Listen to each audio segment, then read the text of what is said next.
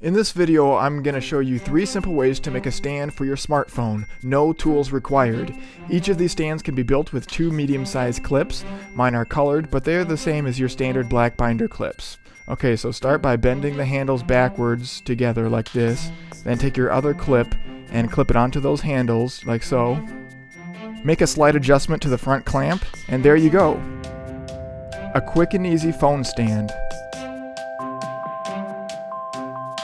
And when placed on a hard surface, the angle that your phone is held at is also great for amplifying sound.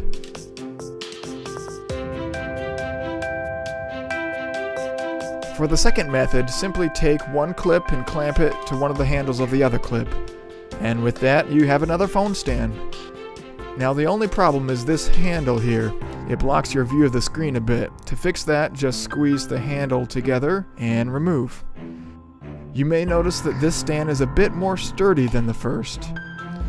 It also provides a better angle for viewing, at least for me.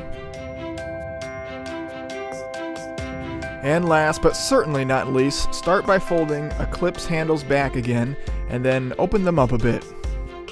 Now take your other clip and what you need to do is thread this top handle into the top handle of the other clip.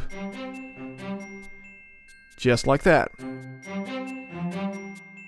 Now you need to put this bottom handle inside this clamp. You'll need to open the clamp nice and wide for this. And there's your stand. A little bit of a setup, but definitely worth it.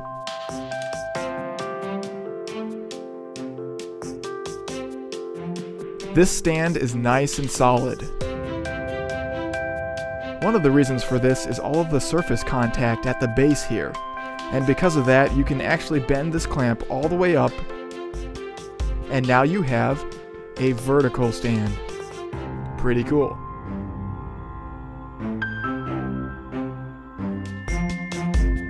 Well, thanks for watching. Now it's your turn.